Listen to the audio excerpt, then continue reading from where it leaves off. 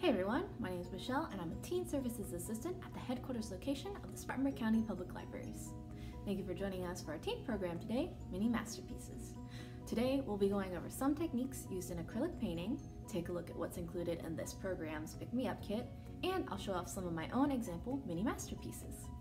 For today's program, there is a Pick Me Up available that includes everything you need to make your own set of mini masterpieces.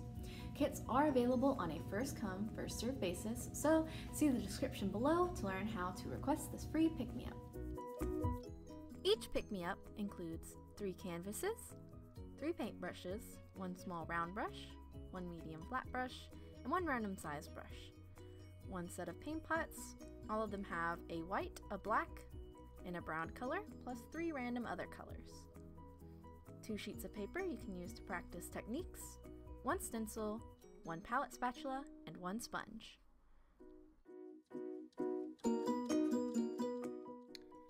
Dry brush is when you take a dry brush with paint on it to lay down strokes. And different brushes and how hard you press down with the bristles will give different effects.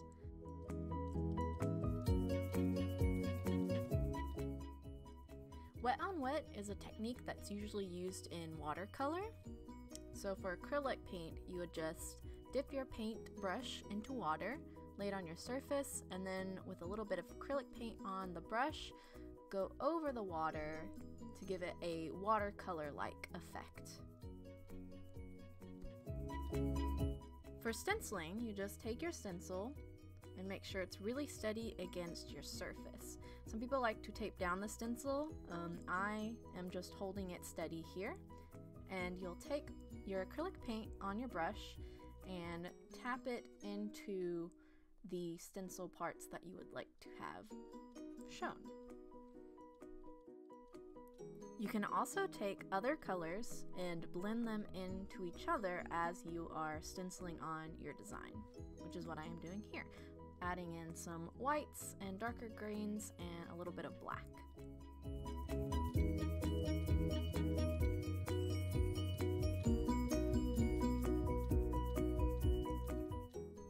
You aren't careful while you're holding your stencil down, you'll have little spots in between the lines, which is what I have here.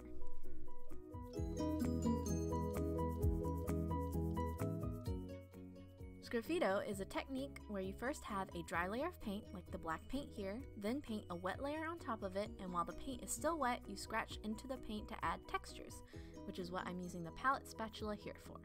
You can also use the end of your brush and other stuff for this. Impasto is a technique where you use a palette spatula to layer on, scratch, and add thick textured paint to your surface. You can also let the layers dry and keep building up more paint to make some really thick textures on your surface. A sponge is another really useful tool to help make fun textures. I really like using the sponge to make a lot of fun space backgrounds because they make for really good clouds. For glazing, you start with dry paint. Then you take watered down acrylic paint on your brush to apply a wash of color on top of the dry paint.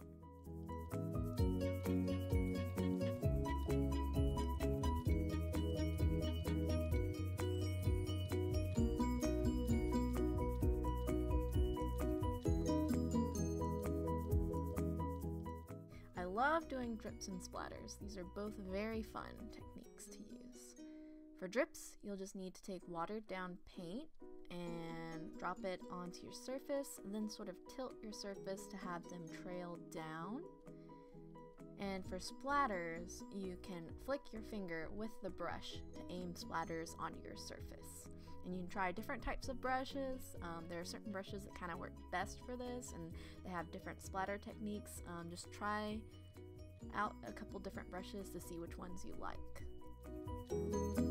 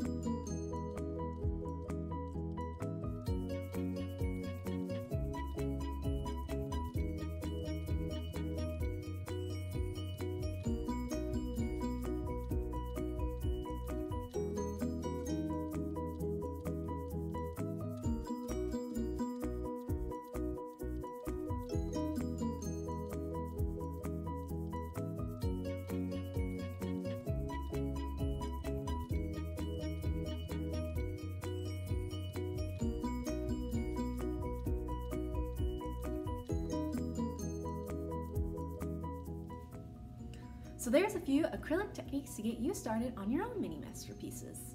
Don't forget to check us out on Instagram or Facebook at, at SCPL Teens for library news for teens, including all of our upcoming virtual programs, opportunities to request more free stuff, and more. Thank you for joining us today. We hope you liked our video.